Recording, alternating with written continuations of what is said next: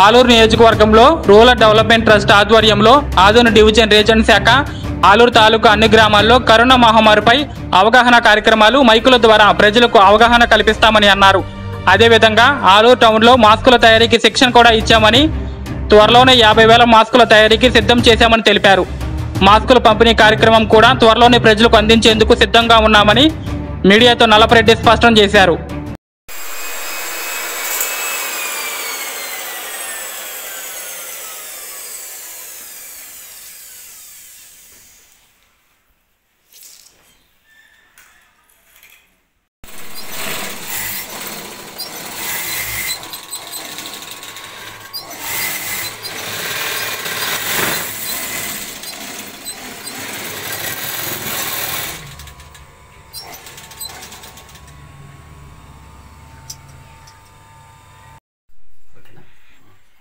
Rural development trust Anantapur Adoni region సంబంధించి ఈరోజు ఈ జిల్లాలో కూడా అనేక అభివృద్ధి కార్యక్రమాలు చేస్తున్నాము.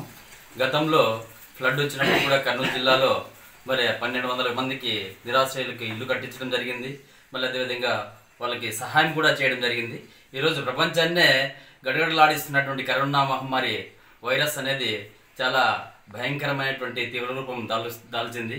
మరి దాంట్లో భాగంగానే ఈరోజు ఆర్డిటి సంస్థ మరి ఫౌండర్స్ యొక్క సలహా మేరకు మరి అదేవిధంగా రీజనల్ డైరెక్టర్ గారి యొక్క సలహాలతో ఈరోజు గ్రామం గ్రామం గ్రామాల్లో ఈ ఆలూరు ఏరియాలో దాదాపు అన్ని గ్రామాల్లో కూడా నూట ముప్పై ఐదు గ్రామాల్లో ఈరోజు కరోనా వైరస్ మీద అవగాహన కార్యక్రమాల ద్వారా వారి ప్రజలను చైతన్యవంతులు చేస్తున్నాము.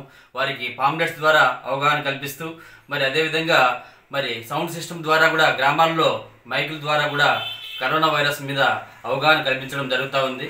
మళ్ళీ అదేవిధంగా సంస్థ యొక్క సలహాల మేరకు మరి యొక్క సంస్థ మరి ప్రతి ఒక్కరికి కూడా మాస్కులు ఉండాలనేటువంటి ఒక ఆలోచనతో ఈరోజు మాస్కులు కూడా మాస్కులు ఏ విధంగా తయారు చేయాలని చెప్పేసి మళ్ళీ ఇరవై మందికి ట్రైనింగ్ కూడా ఇప్పించడం జరిగింది.